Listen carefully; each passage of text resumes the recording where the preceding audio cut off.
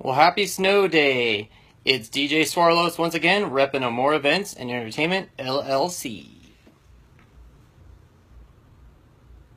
With all this talk in the forecast about snow, it reminded me of one grand day that actually wanted to usher in a lot of snow, and that was Snow Day 2013.